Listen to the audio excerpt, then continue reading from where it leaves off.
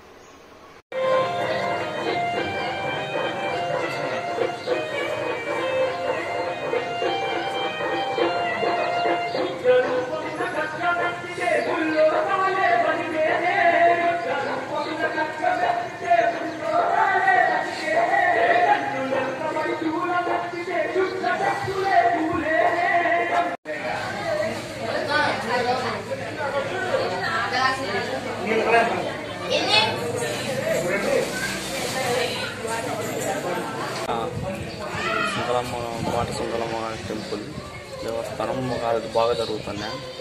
మంగళవారము ఆదివారం శుక్రవారం జరుగుతున్నాయి. సీజన్ జరగడం లేదు. భక్త లాక్డౌన్ వల్ల ఎవరు రావడం లేదు. పెద్దమ్మ పూజారి నేను.